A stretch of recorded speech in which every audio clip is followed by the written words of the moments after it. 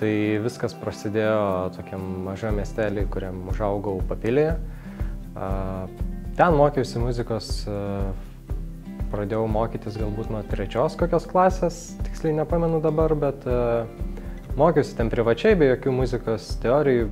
Kažkur gal trečiais metais besimokant, vyko toksai tam kaip kalėdinis koncertas ir reikėjo kažkokį pademonstruoti savo kitą talentą Tai per tą koncertą padainavau, man visai pačiam labai patiko ir e, taip gavosi, kad e, toliau ten besimokant, jau baigiau ašto, ašt, aštuntą klasę ir tada sugalvojau, kad e, reikia išvažiuoti į Klaipėdą mokytis, mokytis profesion, profesionaliai dainavimu. Bet kažkaip paskutiniais metais, jau kai 12 klasė, visi egzaminai lipa ant galvos ir uh, ir jau reikia rinktis, ką tu toliau darysi su savo gyvenimu, tai aš kažkaip supratau, kad man dainavimas nebeteikia tiek to džiaugsmo, kiek anksčiau teikdavo. Tai vad nusprendžiau, kad e, noriu tęsti savo gyvenimą su fortepijono grojimu, tai pasirinkau studijas čia, vat, Vilniaus kolegijų.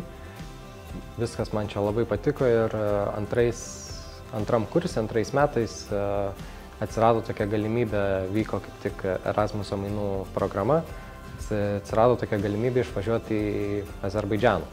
Kai išvykau į Azerbaidžianą, e, mokiausi Bakų nacionalinį konservatorijai, tai man realiai buvo tik mėnesis iki tol, kada prasidėjo visi karantinai Azerbaidžiane. Tai pabuvau mėnesį ten, truputį pavyko gauti tų mokslų. Buvo įvairios paskaitos muzikinės, tai aišku, aš e, išvykau su vis tiek, kadangi čia mano specialybė buvo džiazo fortepijonas, tai ten irgi išvykau mokytis džiazo fortepijono, bet taip pat e, ten buvo ir e, visos e, ir kitos paskaitos, kurios, pavyzdžiui, yra būtent tik Azerbaidžiane, tokios kaip jų etnologinė muzika ir taip jų etno istorija.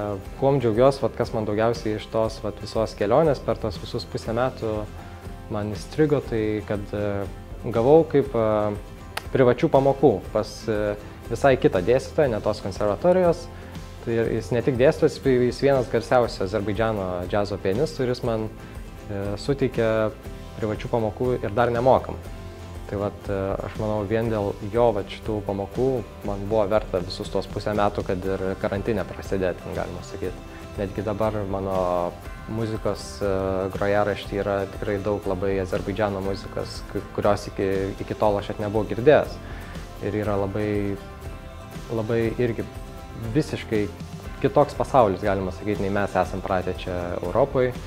Jo, ir tikrai jeigu kažkam irgi yra tokia galimybė, tikrai net nedvėjokit, važiuokit, nes yra ir visos suteiktos stipendijos ir taip toliau, tikrai ir praleisit gerai laiką ir tikrai daug, daug ko galima pamatyti naujo.